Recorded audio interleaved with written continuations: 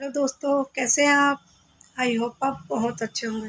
दोस्तों, स्वागत है आपका मेरे चैनल फिर से। दोस्तों, मैं आज आपके सामने एक नई कहानी लेकर फिर से उपस्थित हूँ। कहानी है, जब पहला लॉकडाउन लगा था। ये कहानी उस समय की है, जब लॉकडाउन के दौरान मैं घर पे थी। अब ये सोच रहे होंगे, मैं तो घर पे ही रहती हूँ, लेकिन मैं घर पे नहीं रहती दोस्तों। मेरी एक दुकान थी लॉकडाउन से पहले, जब पहला लॉकडाउन लगा था, जब ये करोना वायरस स्टार्ट ही हुआ था। और उसके बाद लॉकडाउन लगा था।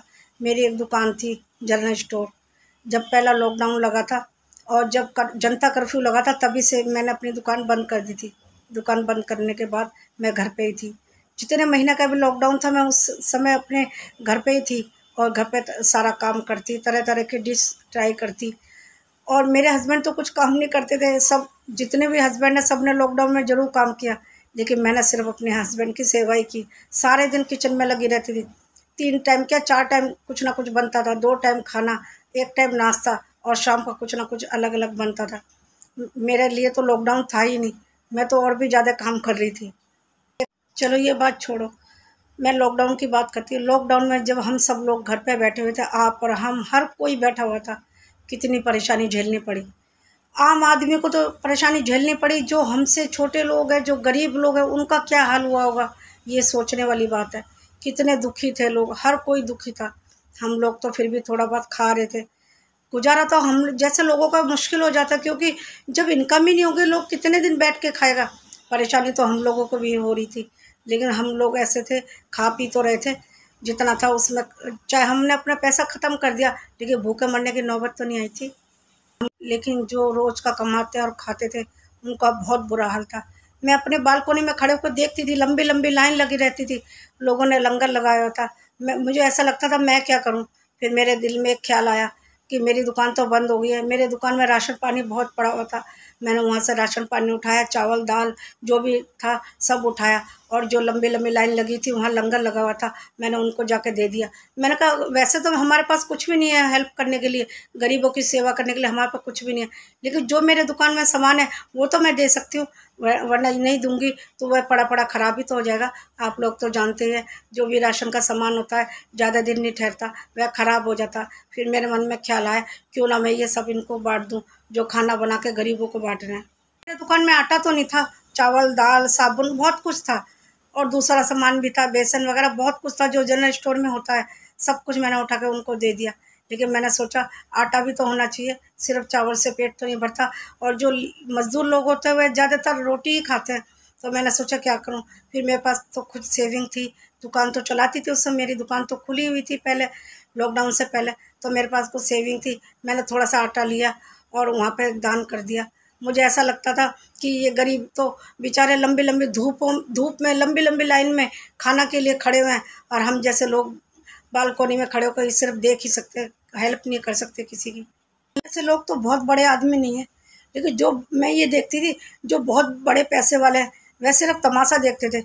उनके मन में ये कभी नहीं आता था, हम भी थोड़ी हेल्प करें। मुझे इतना दुख होता, मैं सोचती थी, भगवान मेरे को दे, मैं उनकी हेल्प करूँ। आप ये ना सोचो कि मैं ये वीडियो बना रही इसलिए ये बोल लेकिन सच में मेरे दिल में गरीबों के लिए बहुत दया भावना, मैं सोचती हूँ कैसे किसकी हेल्प करूँ। लेकिन भगवान ने मुझे इतना दिया नहीं कि मैं किसी की हेल्प कर सकूँ। एक दिन की बात बताती हूँ, हमारे नीचे ही फ्लैट में एक परिवार रहता था। उनका आदमी जो था, वह वाइट वाश का काम करता था। उस समय तो सफ़ेदी का काम ख़त्म हो गया था। खाने के लाले पड़ गए थे, हर कोई काम बंद हो गया था तो सफ़ेदी कहाँ से होती? उनके घर में बहुत प्रॉब्लम आ गई। मैंने सोचा, दुकान का थोड़ा सामान दे दूँ। मैंने फिर उनको थोड़ा सा दुकान का सामान दिया और फिर मैंने सोचा, उनका गुजारा चल जाए। लेकिन सिर्फ़ दुकान के सामान से कैसे गुजारा चलता है? दूध, चाय पत्ती और चाय पत्ती तो मैंने दे ही दी थी, क्योंकि मेरी दुकान में चीनी चाय पत्ती भी थी। लेकिन बाकी दूध और भी तो बहुत सामान की ज़रूरत पड़ती है, सब्ज़ी की ज़रूरत पड़ती है। फिर उन्होंने उन्होंने क्या किया? किसी से उधार लिए, पैसे और रेडी लगाना शुरू कर दिया। उन्होंने रेडी लगाना शुरू कर दिया। मोहल्ले पड़ोसी वाले बहुत निंदा से देखते उनको, क्योंकि उनका अपना मकान था। चाहे वह सफ़ेदी वाले थे, लेकिन मकान उनका अपना था। बहुत अच्छे से रहते थे। लगता ही नहीं था कि वह सफ़ेदी वाले हैं सफ़ेदी करते उनके हस्बैंड लेकिन फिर भी जब लॉकडाउन के दौरान उनके घर में पैसे की बहुत परेशानी हो जब उन्होंने नीचे रेड़ी लगाई, सब्ज़ी और फल फूल बेचने लोगों। ना जाने कितनी तरह तरह की बातें करने लगे। फिर एक दिन मैं वहाँ पे बालकोनी में खड़े को सुन रही थी। मैंने बोला, क्या हुआ? पैसे क्यों बोल रहे हो? तो वह मुझसे उलझ पड़े। मैंने कहा, एक बात बताओ, यदि कोई मेहनत करता है, तब तुम आप बोलते हो। यदि कोई गलत काम करता है, उसको भी बोलते हो। तो आखिर इंसान जाए तो जाए कहाँ? चोरी करता है, तब भी आप लोग बोलते हो। और गलत काम करता मतलब कुछ भी काम करे, आपको उसी से ऑब्जेक्शन है। आप किसी की हेल्प करने से तो गए और उसकी निंदा करते हो। क्या हो गया? वो मेहनत ही तो कर रहे पेट भरने के लिए कुछ मेहनत करनी तो ज़रूरी है, वरना वे अपने बच्चों को कैसे पालेंगे? ऐसे करके मेरे से उलझ पड़े और मेरे से खूब लड़ाई हुई उनकी। गली में बहुत सारे लोग रहते थे जो बहुत पैसे वाले थे, गाड़ी वाले थे। लेकिन किसी को मैंने आज तक हेल्प करते नहीं देखा। लोग सोचते हैं कि हमारे पास थोड़ा सा आ जाए। यदि किसी को दान देने से कमी नहीं आती। यदि किसी को सुना है ना अपने अनुदान का दान सबसे बड़ा दान होता है। लेकिन इस, ये बात सबको समझ में नहीं आती। वह तो सिर्फ़ अपना पैसा देखते कैसे उसको बचा के रखे। एक बात मैं सबसे पूछना चाहती हूँ, दोस्तों, यदि हम अपने घर में खाना खा रहे हैं, पी रहे हैं, सब कुछ कर रहे हैं। और हमारा पड़ोसी भूखे बैठे हुए हैं और उन बच्चों के पास खाने के तक नहीं है। क्या हमारे को चैन मिलेगा? नहीं मिलेगा, क्योंकि हम तो खाना खा रहे हैं और पड़ोस के बच्चे भूखे बैठे हैं, परेशान हो रहे हैं। और उन्होंने ब्याज से पैसा लेके सब्ज़ियाँ रेडी लगाई थी। फिर भी लोग उनके बारे में बात कर रहे थे। हेल्प करने से तो गए, ऊपर से उनके बारे में ना जाने क्या क्या बात कर रहे थे। खबरों की बात तो छोड़ो। उन्होंने अपनी एक बेटी की शादी की हुई थी। और उसके दामाद को जब पता चला कि ये सब्ज़ी की रेडी लगा रहे हैं। आके उलझ पड़े। कहते, हम यहीं मोहल्ले में रहते क्योंकि मोहल्ले में शादी थी उनकी बेटी की। कहते, हम मोहल्ले में रह रहे हो, तुम रेडी लगा रहे हो। हमारी भी तो बदनामी है। तुम्हारी बेटी से मैंने शादी की है। सब हमें बोलते हैं, तुम्हारे जो ससुराल वाले हैं, वे रेडी लगा रहे हैं, सब्ज़ी बेच रहे हैं फल फ्रूट बेच रहे हैं। तो इसमें क्या गलत है? ऐसे करके वह झगड़ने लगता है अपने ससुराल में आके कि यदि तुम ये काम बंद नहीं करोगे तो मैं तुम्हारी बेटी को तुम्हारे घर छोड़ के चला जाऊँगा। उनका दामाद, लड़ने तो आ गया। एक बार भी ये नहीं सोचा कि मैं जो इसको बोल रहा हूँ कि काम बंद कर दो, मैं तुम्हारी बेटी को वरना छोड़ जाऊँगा। उन्होंने एक बार भी नहीं सोचा दामाद ने, ये काम बंद कर देंगे तो खाएँगे कहाँ से? ये तो तुम्हें इतनी इज़्ज़त की परवाह तो तुम दे दो उनको पैसे खाने पीने के लिए, जब तक लॉकडाउन है, जब तक तुम दे सकते हो ना। यदि तुम किसी को कुछ हेल्प नहीं कर सकते, उनका काम बंद करवाने वाले तुम कौन होते हो तुमसे अपनी बेटी की शादी की, इसीलिए तुम धोस जमा रहे हो।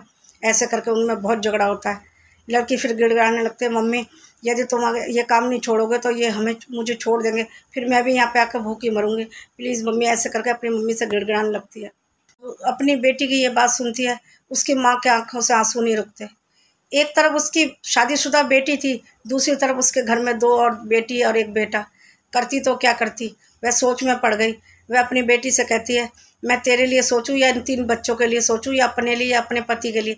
तुम ये सोचो मैं कैसे छोड़ दूँ ये काम? हम लॉकडाउन में भूखे मर जाएँगे। ऐसे करके वह अपनी बेटी से कहने लगती है।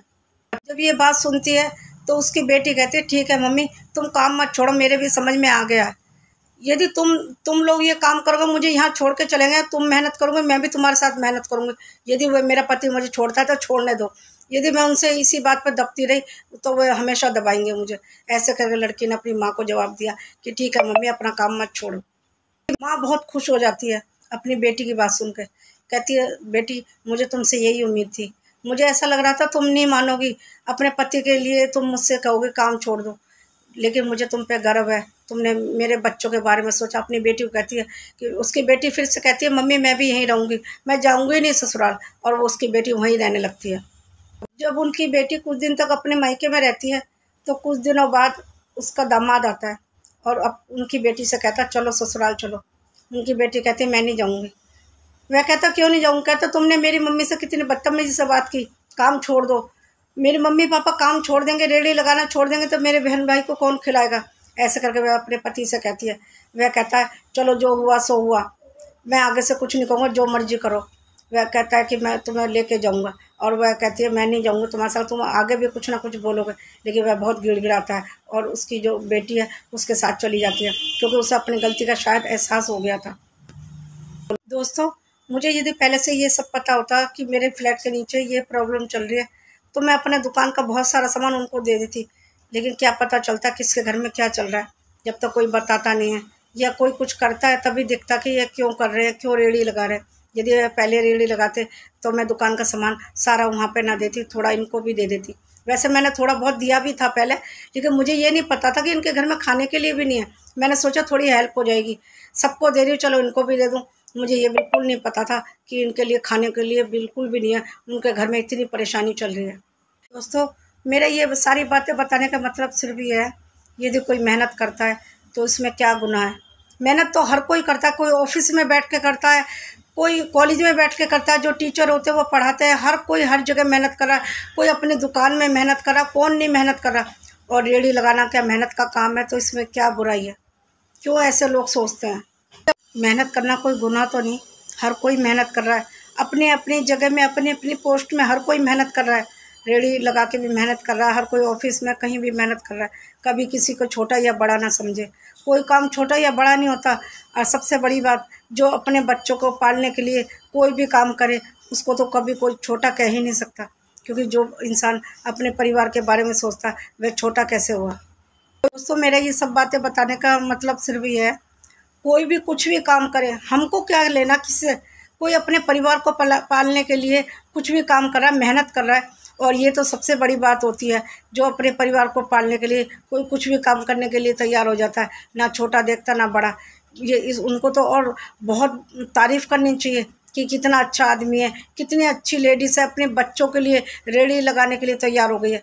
और उसका पति यदि उसको जवाब ना देती उसकी, उनकी बेटी कि मैं यहीं रहूँगी, तुम, मैं, तुम मुझे छोड़ जाओ, कोई बात नहीं। तो वह उसका दामाद भी उन, उनके ऊपर और हावी हो जाता। उनका काम छुड़ा के छोड़ता, यदि लड़की जवाब ना देती। ऐसे ही हर लड़की को करना चाहिए। यदि लड़की अपने ससुराल में दबती, ऐसे दबती रही तो वह अपनी मनमानी करते रहेंगे। इसलिए मैं सबको यही कहना चाहती हूँ किसी को कोई भी कुछ काम करे, हम कोई नहीं होते किसी को रोकने टोकने वाले, किसी की बुराई करने वाले। उनकी तो हमें और सराहना करनी चाहिए, कितने अच्छे लोग हैं। कोई गलत काम तो नहीं करे, कोई चोरी तो नहीं करे, मेहनत ही तो कर रहे हैं। दोस्तों, मैं सबको यही कहना चाहती हूँ, हर किसी की हेल्प करें। ज़रूरी नहीं है पैसों से करें, तन मन से भी तो हम हेल्प कर सकते हैं किसी की। बस मैं यही कहना चाहती हूँ सबसे। बस मेरी ये कहानी यही समाप्त होती है। कहानी क्या मेरी लॉकडाउन के एक्सपीरियंस है। ये बस मैं मिलती हूँ अगले वीडियो में, लेकिन उससे पहले प्लीज़ मेरे इस चैनल को लाइक से सब्सक्राइब ज़रूर कर देना। और मेरी जो बातें आपको अच्छी लगी या बुरी प्लीज़ मुझे कमेंट ज़रूर कीजिए। मुझे आपके कमेंट का इंतज़ार रहेगा। मिलती हूँ अगले वीडियो में एक नई बात लेके। तब तक के लिए नमस्कार। Thank you take care